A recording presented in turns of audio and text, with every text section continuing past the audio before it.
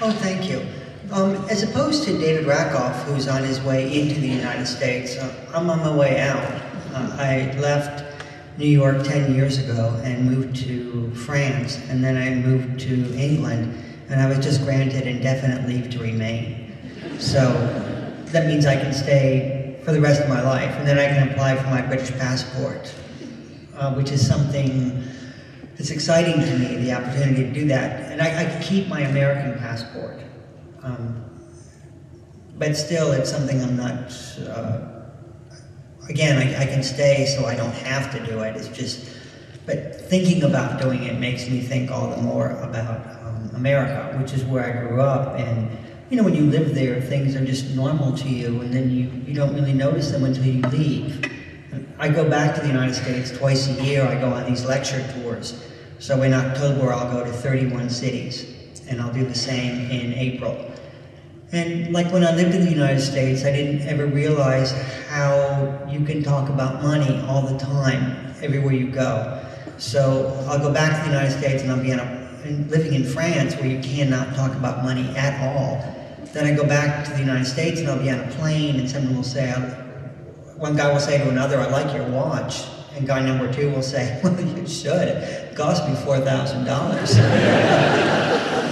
And I grew up with that, and I love that. Absolutely love it. Because I'm the one who will go into someone's house and I will, say, I will ask how much things cost. And in France, people are just appalled. Like you're not even supposed to acknowledge somebody's sideboard, let alone ask how much it cost. Um, and I was in a cab here yesterday, and I don't know where the cab driver was from, but he, but he said, oh, I detect an accent. Uh, where are you from? And I said, I'm from the United States. And he thought for a moment and he said, how did you keep from being shot? and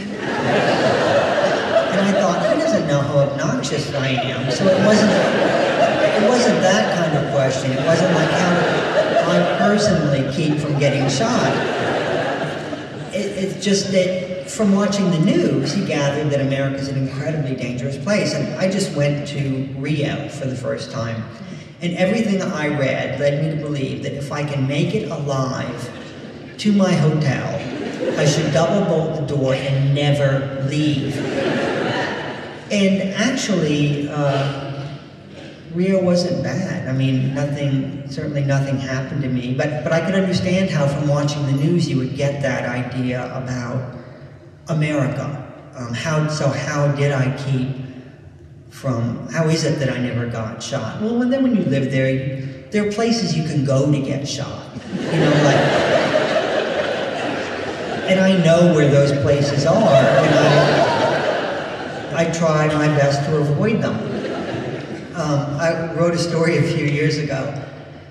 Uh, one thing that's always funny about America that it can't yet. there, there, there are no limits to the ridiculousness of guns, right? So I, I wrote, I had included this in a story, that in Texas, the blind can legally hunt. But they need to be with a sighted person, right? But in Michigan, they don't. In Michigan, a blind person can go out into the woods on his own with a gun and shoot at whatever makes noise. But how does he find whatever he shot, right? Like even if he were to say, that sounds like a deer, and he shot it, and then he heard it, the antlers like hit a tree, and so he knew that it was a deer, how would he find it, and how would he get it home? And then I was reading in the paper a while ago that in national parks, you're not allowed to bring guns into national parks like Yosemite. Well, the National Rifle Association wants that to change, right? And their argument is, what about our women? You know, you, well, how, how funny would you find it if your 16-year-old daughter were raped at Yosemite? How funny would you find it then? So, but they're afraid that that if people go into the national parks with, with guns, then they're just gonna they're just gonna shoot bears in the face. Is basically what they won't be afraid as afraid as they should be of the wildlife, um, and so they're going to wind up killing a lot of animals. Um, it's funny to me. Um, let's see. Um, uh, let's see.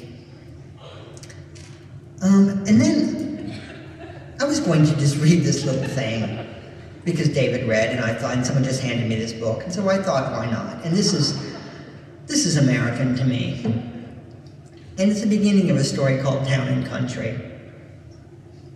They looked like people who had just attended a horse show, a stately couple in their late 60s, he in a cashmere blazer, and she in a gray tweed jacket, a jam-encrusted shamrock glittering against the rich felt of her lapel. They were my seatmates on the flight from Denver to New York, and as I stood in the aisle to let them in, I felt the shame of the tragically outclassed. The sport coat I had prided myself on now looked clownish, as did my shoes, and the fistful of pine straw I referred to as my hair. Excuse me, I said, apologizing basically for my very existence. The couple took their seats, and just as I settled in beside them, the man turned to the woman, saying, I don't want to hear this shit. I assumed he was continuing an earlier argument, but it turned out he was referring to the Gershwin number the airline had adopted as its theme song. I can't believe the fucking crap they make you listen to on planes nowadays. The woman patted her silver hair and agreed, saying that whoever had programmed the music was an asshole. a cocksucker, the man corrected her. Goddamn cocksucking asshole. They weren't loud people and didn't even sound all that angry, really. This was just the way they spoke the verbal equivalent of the everyday China. Amongst company, the wife might remark that she felt a slight chill, but here that translated to, I am fucking freezing. Me too, her husband said. It's cold as shit in here. Shit is the tofu of cursing and can be molded to whichever conditions the speaker desires. Hot as shit windy as shit. I myself was confounded as shit. For how had I so misjudged these people?